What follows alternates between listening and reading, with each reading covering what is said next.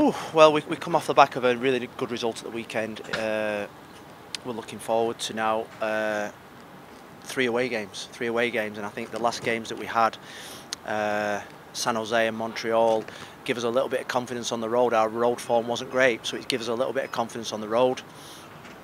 Uh, you know, we, we we played a certain system, we played a certain way, and, and we felt as that way really suited us. So we're looking forward to uh, going to a really difficult place in New York Red Bulls, who who are above us in the table. They've had a fantastic season. They're a, they're a dangerous team, and uh, and we know what they're all about. Uh, we're a team that's got a lot of confidence. We've got players that are desperate to play, and uh, we've got Coco back in the squad now, which is great. He's been fantastic this week, I've got to say. He, he looks like a real, real good player for us, a good addition. And we've got players who are fresh that, that are willing to step in over the next two games, particularly in a short space of time. And uh, we're really looking forward to the challenge.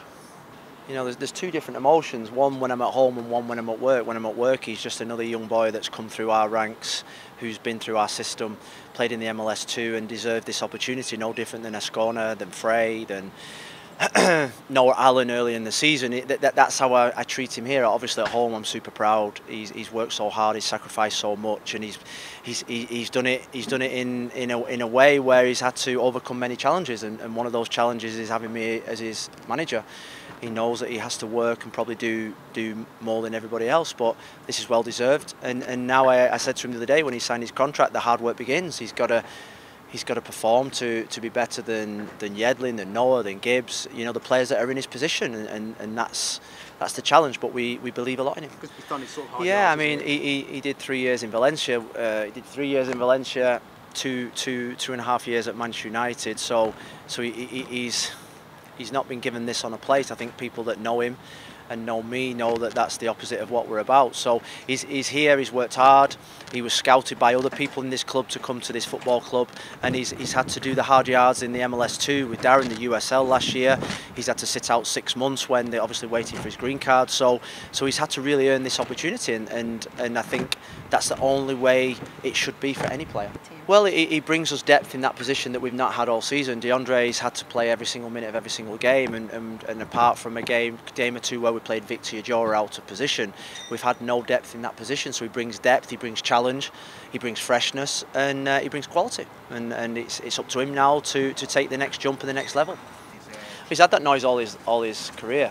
He played for Manchester United, and he had that thrown in his face. He had his, he, at Manchester United it was worse. He had his, his father and his uncle being thrown in his face. So so he's he's got thick skin. He's he's very driven and. Uh, you know, everything that he's ever achieved in his life, he's had to earn himself. You know, he made the choice at 11 years of age to go and sign for Manchester City, which was against all the wishes of everybody in my family. But that was that was his decision. He wanted to create his own pathway. So, so he's he looks after himself.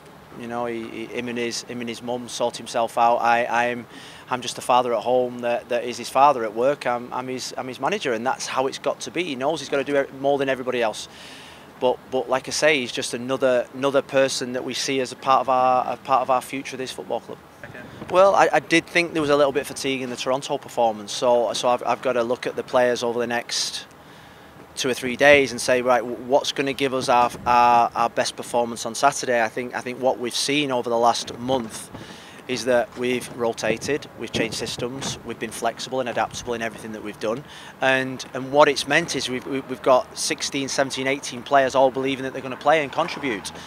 And, and that's how it's going to be over the next four games. We, we, we're quite adaptable with the system that we play. We, we go freely from three at the back to four at the back to 4-3-3 to 3-5-2 to 3-4-3 and, and that's been our real strength and we're going to have to be really adaptable in the next two games. We're playing two really good teams, two teams above us in the league and uh, two teams that have aspirations to get in the playoffs like ourselves. And I think the next three away games will will probably define our season. We keep saying that, but the next three games, the clicks, the, the, the clock's ticking. Uh, are going to be massively important. We have to pick up points on the road. Before we went to San Jose, we said we have to have a, an away day mentality, and and we came away with four points. And over the next three games, we need to we need to start amassing points as well to keep us in that in that pack that's chasing that playoff position. I think I think it's no secret they press the ball. They they high energy. They they play direct. They have quality players in the final third, and they they. they they have players that can that can be match winners. And uh, you know, early in the season, I thought we played really well against them, but it was in the heat. It was in the heat here. It slowed them down a little bit, I suppose. But the two games we had last season against them, they they they they, they really really wiped the floor with us. So we know that their qualities are. Uh, and we're going to have to produce probably one of our best performances to get results in the next two games. You know, we're, we're at the stage of the season when you look at the calendar, we're nearly there. We're, we're nearly at the final stretch, and when we when you get to the final stretch, you just need to concentrate on the next game, concentrate on the next game, and more importantly, concentrate on what we're doing. You know, you can look at the other fixtures, the permutations, the points tally, uh, but it's about us amassing points. If you'd have said to us before San Jose about what we were going to do in the next four games, we'd, we would have really been pleased. And now we need to go on another run over the next three games of uh, gaining real points on the road. Well, I think I think my experience when you get to a sort of like a title running, and when you get to a where, where it, you call it the the most important part of the season that for probably two thirds of the season, the performances are really important. When you get to this point, it's about winning, it's about competing, it's about finding a way to win a game of football. And I think I think what my team are doing at this moment in time, they're finding ways to win football games. And uh, New York, we were down. Toronto, we were we, we, we were dominated. Uh, Cincinnati, we came back. Uh, San Jose, Montreal, we showed we showed some, we were showing some great qualities, qualities that you can't you can't buy. And, and that's what gives me and, and my staff and, and the club great confidence in the next seven games. I think you, you saw him running the other day. I don't was he running today? I think he was running today. He's ahead of schedule.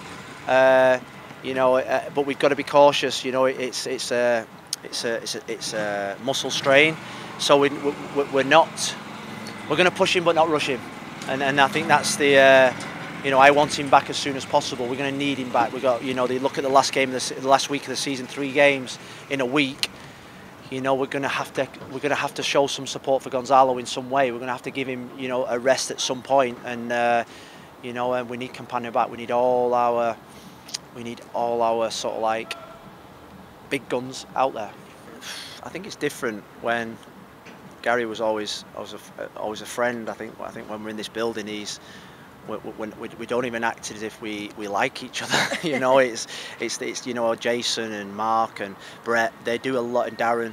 They do a lot of the talking to Harvey. I tend to distance myself from him, uh, you know, because I want him to just grow himself. Uh, you know, I, I, had I had a lot of my career with a family member in the club, and I always use that as my advantage. It was always a support network. But ultimately, when we go home, I, I, want him to be my son, my best friend. In the club, I want him to be a really good right back, and and that's the way it's got to be, and that's the challenge for us both.